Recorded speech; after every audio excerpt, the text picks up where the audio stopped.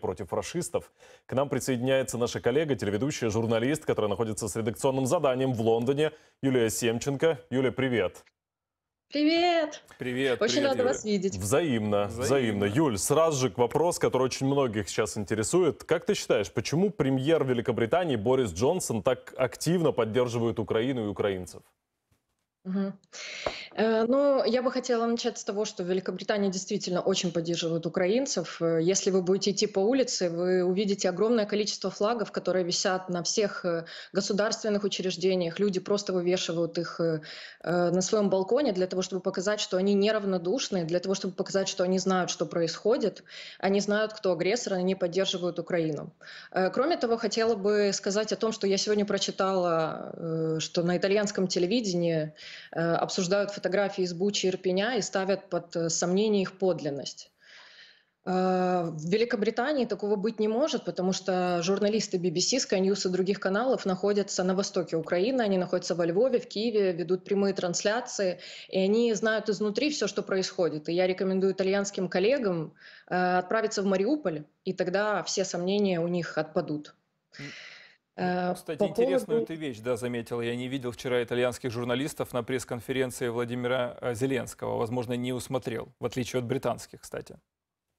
Ну, я вообще, в принципе, да, не замечаю активности от итальянских СМИ э, и, честно говоря, не замечала присутствия итальянских средств массовой информации э, в Украине. Но, возможно, они есть. Давай Да. вернемся в Великобританию, если позволишь. Э, Скольким украинцам удалось выехать в Великобританию, спасаясь от войны? Ой, ну, на данный момент э, вот эм, по состоянию на 20 апреля было выдано э, больше 71 тысячи виз э, из э, 107 тысяч. Это не так много, как хотелось бы, но процесс запущен. Э, Я знаю, что в первые дни э, заявки подали, в первый час работы программы Homes for Ukraine, э, заявки на то, чтобы пригласить к себе украинца, подали полторы тысячи британцев, и уже через несколько дней э, их число э, равнялось 200 тысячам.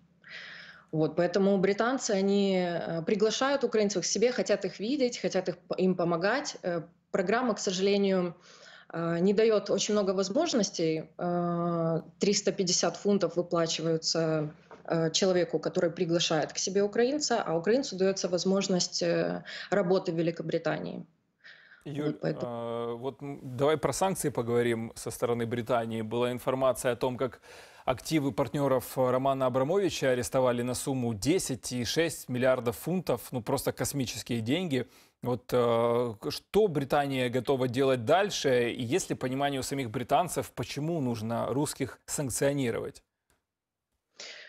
Ну, в Великобритании, насколько я вижу, самый широкий пакет, э, пакет санкций из всех стран. Э, Под них попали э, 206 э, физических и юридических лиц. Это все самые крупные российские олигархи. А, У них арестовано имущество, арестованы дома. Э, Имущества здесь действительно очень много, и российских денег было очень много. И все это арестовано. А, Арестованы вот эти все фамилии, вы их прекрасно знаете, э, и э, 60, э, 275 миллиардов фунтов стерлингов э, арестовано российских денег на данный момент. Р- Юлия, а расскажи, вот э, как Британия помогает тем украинцам, которые остались в Украине? Возможно, о гуманитарной помощи идет речь. То есть сейчас от ВПК, от военно-промышленного комплекса отходим к конкретному, а, конкретной поддержке людей. Вот что об этом известно? Э, Да, я бы хотела отдельно отметить работу э, посла Украины в Великобритании Вадима Пристайка, потому что посольство Украины э, проделывает огромную работу. Э, Они отправляют и гуманитарную помощь, э, кроме того, отправляют эм, эм, машины скорой помощи, э, финансовую помощь. Люди сами, британцы, организовываются и отправляют автобусы, э, грузы в Украину с одеждой, с продуктами, все, что необходимо, все отправляется. И